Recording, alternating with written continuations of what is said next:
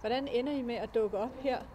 Jamen, øh, jeg er fra Dansk Varmblod. Jeg sidder i avlsledelsen, og jeg er blevet inviteret over, fordi at Dansk Varmblod støtter op omkring det arrangement, der er her.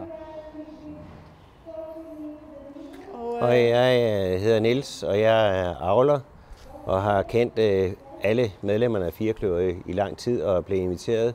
Også fordi jeg er formand i Region 2 i det sydsjællandske. Og jeg er meget glad for at komme her. Jeg er selv springhestaavler, men det her det giver mig værdi til at se, hvad er det, jeg skal bruge hestene til.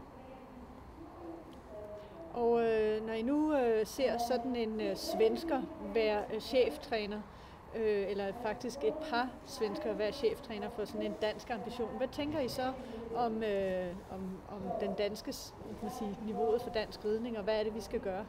Jamen nu når vi, det er jo ikke bare en svensker, vi har her, det er jo en af verdens bedste rytter, vi har til at, til at undervise de unge mennesker, så det er da utrolig positivt.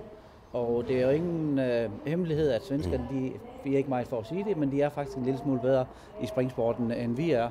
Så vi tager imod kysshånd for al den viden, vi kan tage, og vi kan bruge for, ud, øh, for udlandet. Det er både med ridning og med avl. Der kigger vi rundt om i hele verden for at finde det bedst mulige. Og det her, det er kapaciteter langt over det sædvanlige. Ikke nok med, at hun er en dygtig formidler. Hun har jo også reddet selv på, det, øh, på topplan, så hun ved jo, hvad hun snakker om.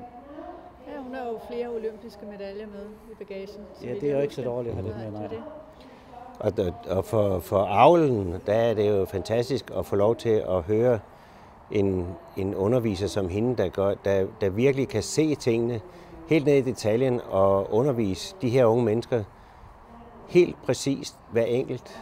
Og det, det, det, der undrer mig mest ved det her, det er, at der ikke sidder 50 avlere og kigger på, hvad er det, hun giver videre med. For det kan godt være, at hun er svensker, hun taler engelsk, men hun giver noget til os alle sammen. Og, og dansk er sådan, så vi samler viden fra hele verden. Og, og hvis hun er den bedste, så tager vi imod hende. Er der andre, der er bedre, så tager vi imod dem. Men her har akademiet virkelig fundet en kapacitet, som vi alle sammen kan lære noget af. Også avlerne. Men avlerne savner jeg her. Jamen, så må vi jo se at få inviteret nogle flere af dem. Øhm, og det gør vi jo sikkert, når de har hørt, hvad I mener om, om det her. Når vi øh, nu har sådan lidt debat om, hvad kommer først, den, øh, det gode hestemateriale eller de gode ryttere, hvad er jeres tanker så om det? Jamen det, det er jo sådan, at øh, det er umuligt at have, øh, få lavet en god hest uden at have en god rytter. For avlerne de kan lave en nok så god øh, springhest, hvis nu den ikke bliver uddannet korrekt. Øh, alt afgørende, det er jo uddannelse af, af hesten. Så det, det hænger sammen. Kom æggen eller hønen først. Det er svært at sige. Vi har brug for begge dele. Ja, lige præcis. Og hvad er dit synspunkt på det? Mit synspunkt er, at, at, at, at for det første er jeg fuldstændig enig. Men som avler, der har jeg ikke råd til at, at, at få uddannet en hest. Fordi i morgen kommer der nok en hest. Så jeg er nødt til at have sparring med og hjælp fra gode ryttere. Jeg giver gerne en god hest til en god ung rytter, hvor vi så i fællesskab får lov at udvikle. Men det, som avlerne skal se, det er, at, at et, at et samarbejde med en ung rytter, det er ikke et, der var et år. Det var minimum fem år. Så der, der sker en udvikling. Jeg får udviklet en hest, og rytteren får en god hest at ride på. Og en god rytter vil ikke have en halvdårlig hest. Så jeg får også at vide en gang imellem, den der duer ikke, den kan du lige så godt tage hjem igen. Det oplever alle avlere. Og det skal man lytte til. Der skal man virkelig lytte til rytterne og sige, hvad er det, der duer? Og så sige, tænk, det er altså ikke det, du skal lave næste gang. Der skal du lave noget, der er bedre. Jeg synes, det er meget inspirerende at have med rytter at gøre. Man kan så også øh, sige, at nu når at en avler og en rytter laver en samarbejde omkring en hest, så er det utrolig vigtigt, den management af hesten, at de har en træner, de arbejder sammen med. Og nu er det her jo sat rigtig godt i system, så der er system i det her også. Så det er vigtigt for avlerne kan se, at der kommer noget ud af det her, og det er også vigtigt, at rytteren bliver holdt op på noget, sådan at, øh, at det, der sker en udvikling i tingene. At man får sat sig nogle mål, så det bliver målrettet, at man kan ride de forskellige, man kan ride herning, unghestchampionat, man kan ride de forskellige championater, sådan at hesten den bliver uddannet, sådan at et mål med samarbejde, sådan at samarbejdet ikke bare kører i fem år. Hvad, gik det, ja, hvad fik vi så ud af det, ikke? Så det skal, der skal virkelig være en plan for det. Og det øh, system, vi ser her, der, der er plan i det. Så, så det I faktisk mener, det er, at det her initiativ kan være med til at understøtte det øh, gode arbejde, som man allerede laver i Dansk Varmblod omkring, øh, kan man sige, at, at, at få markedsført den danske varmblodshest, øh, men også at få, kan man sige, så kan det her støtte op om det, der hedder uddanne rytterne til at uddanne heste.